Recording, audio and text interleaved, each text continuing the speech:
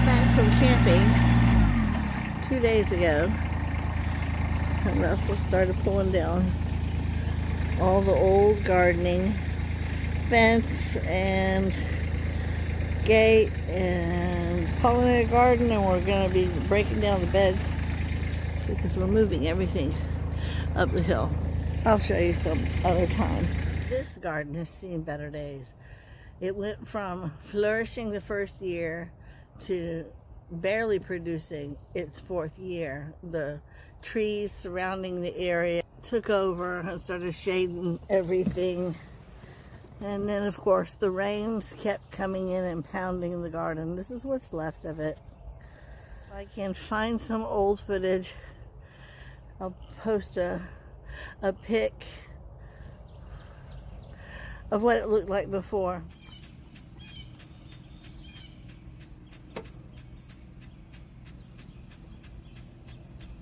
We are in the process of moving everything to its new location up the hill and I will show you that when we get there.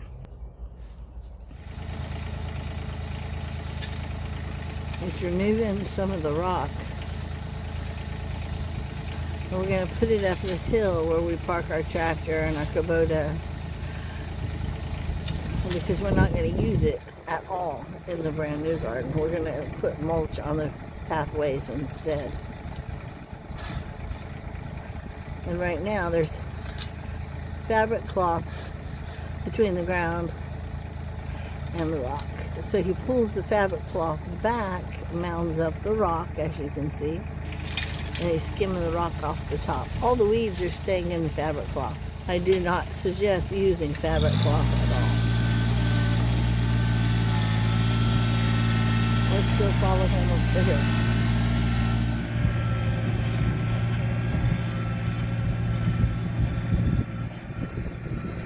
He's already removed over half of the boxes that were in this garden, taking the fence down. As you can see, the debris laying everywhere. Now he's leveling it out as he goes, so it's not an overwhelming task.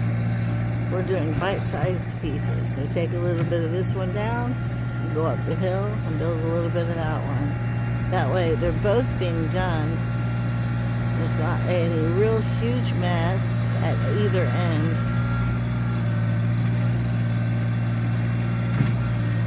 And then the rocks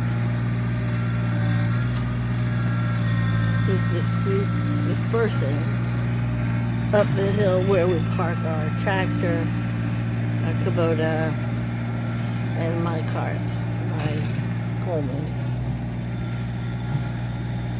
We're getting his mulch in the pathway at the top of the garden.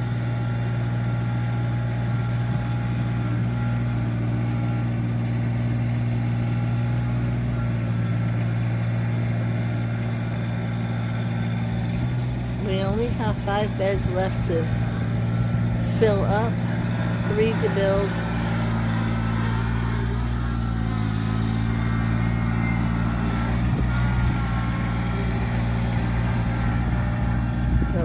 two down the hill, or up the hill that we still have yet to stake and prep for the dirt, soil, whatever you want to call it.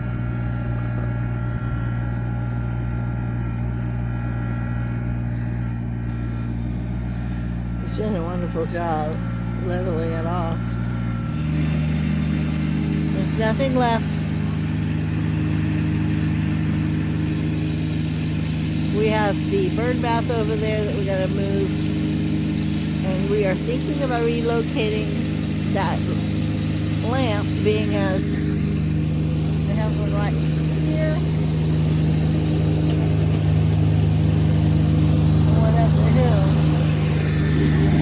We really don't need it over there now. But we could move it closer to the chicken coop next year's project. We're going to revamp it, make it pretty.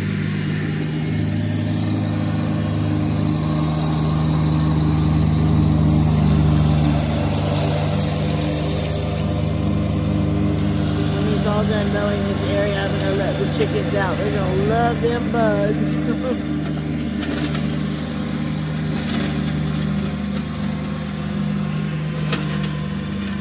mean, it's not like you haven't seen people mow their lawns before. I just wanted to show you there is no more garden. It is gone. Everything that we needed is up the hill, and everything that we're throwing away piled up way back there for now.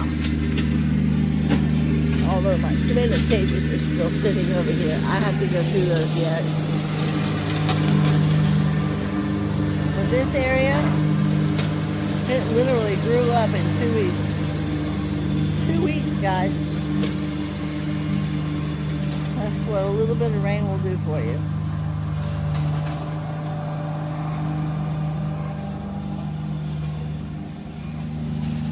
Ask me if I miss it. Yes, I do. It's so quiet back here.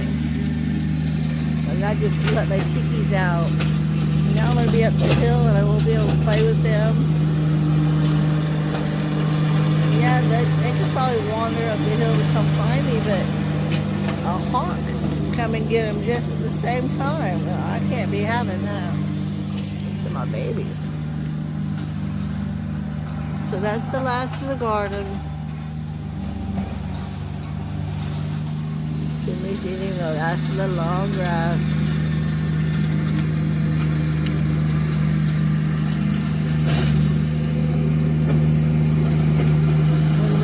up the hill. I'll show you where we're at.